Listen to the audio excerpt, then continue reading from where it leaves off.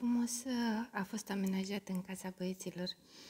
Au avut o inimă foarte mare după care s-au ascuns, iar uh, fiecare băiat își aștepta fata cu ursuleți, cu flori.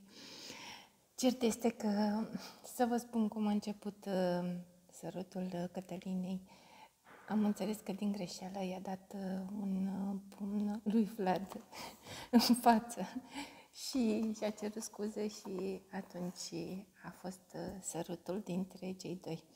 Sunt tare curioasă să vedem material, deci sigur o să fie haios, tare vă dați seama. Chiar haioasă treaba.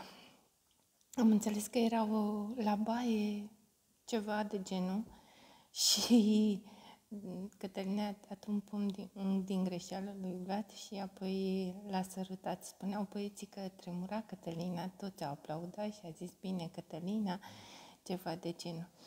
Sunt tare curioasă să vedem materialul de mâine, sigur a fost foarte frumos. Îmi pare rău că n-a fost și Diana, chiar îmi pare rău.